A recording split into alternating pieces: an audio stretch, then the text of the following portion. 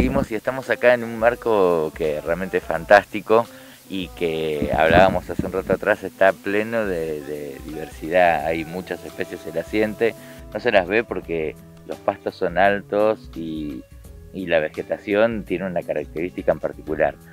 Cuando hablamos de vegetación y de los teros que por ejemplo pasan volando frente a cámara, hablamos de educar a la gente con respecto a lo que infiere el cuidado de estos espacios, ¿sí? los espacios naturales, en particular de la reserva y todos los espacios naturales. Pero, ¿qué es la educación ambiental?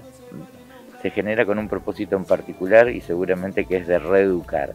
Pero, ¿qué es desde la perspectiva de, de Temequén eh, en, especial dentro de lo que es el marco de la reserva?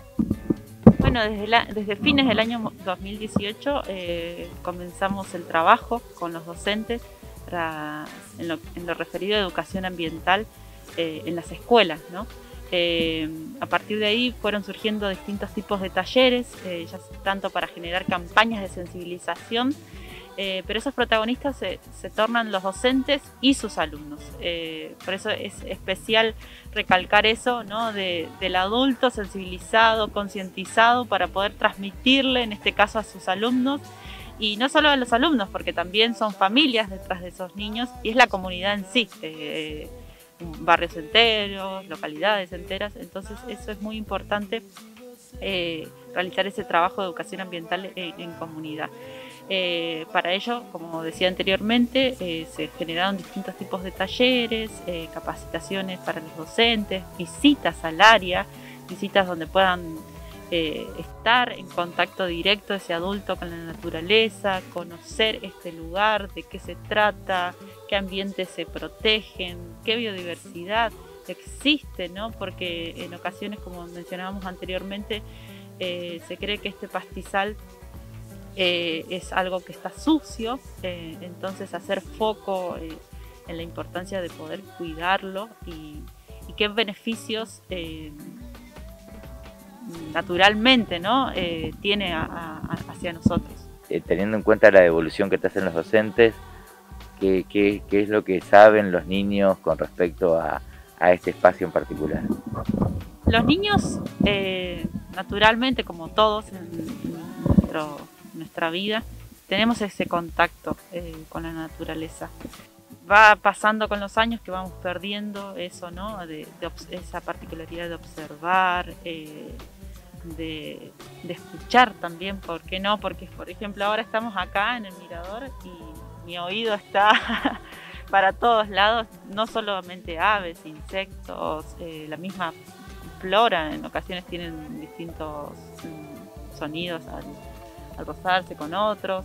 Eh, pero en cuanto a la información, eh, Misiones es sinónimo de, selva, ¿no? es escasa, pero también está creciendo esta información sobre los pastizales, ¿no? de que Misiones también es pastizal, eh, pastizales biodiversos, pastizales ricos, pastizales necesarios para, para un ambiente sano, ¿no? que eso es lo que precisamos, no solamente nosotros como, como seres humanos, sino el, conjunto. Pero e, es, es, escaso en ese aspecto, respondiendo a tu pregunta en cuanto a información de, pastizales, porque siempre suele encontrarse eh, más bien eh, información de, esa selva misionera tan característica, tan particular, tan imponente. Eh, pero bueno, estamos en un proceso que es justamente eso, ¿no? La educación ambiental es, un proceso en donde vamos aprendiendo de manera recíproca, ¿no? no es que nosotros enseñamos a los docentes, no, es al revés o es continuo, siempre los docentes nos enseñan a nosotros. Eh, así que eh, eso es, es, importante recalcar que, que, la educación ambiental es un proceso. ¿no? Este es tu marco de trabajo cotidiano, todos los días venís acá. Eh, aquellos que amamos la naturaleza sabemos que se disfruta este, este lugar.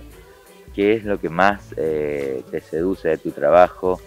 ¿Qué es lo que más te seduce del lugar a donde estás trabajando? Porque podría ser una oficina donde estuvieras viendo cuadros de naturaleza, pero no, estás en la propia naturaleza. Me transmite varias cosas, ¿no? Eh, responsabilidad, eh, compromiso, eh, imponencia, ¿no? Porque por más que en ocasiones estoy a diario acá, también Mi trabajo es eh, con los docentes, en ocasiones ir hasta las escuelas. Eh, es un paisaje único. A mí esta confluencia de las dos ecorregiones, la selva y el pastizal, mm, yo me he criado en un contexto de pastizal, pero recién de, adulta, de, hace, pocos años, visualizo el pastizal como realmente un ecosistema pleno. Entonces, de algún modo, este punto donde me encuentro hoy viviendo y trabajando, eh, conectó esos recuerdos de la niñez que siempre son necesarios para, para tener presentes de que somos naturaleza, ¿no? De que es necesario no solamente conectar en el hecho de venir y estar un rato acá, sino de decir, bueno, todas mis acciones que, que hago día a día impactan en, en, el ecosistema, en la naturaleza, y es necesario que entendamos que, que somos claves tanto para su cuidado y como otra especie más. ¿no? Somos otra especie más que debe cuidar y regular este marco para que justamente se sostenga y, y, prospere. Seguimos con más dinámica de caridoscopio desde Urutaú con un bello paisaje de la provincia de Misiones particular, los paisajes de pastizales y toda la, la, la increíble opulencia que tiene este arroyo que corre y es grande, que es el arroyo Corpá. Más caridoscopio desde acá.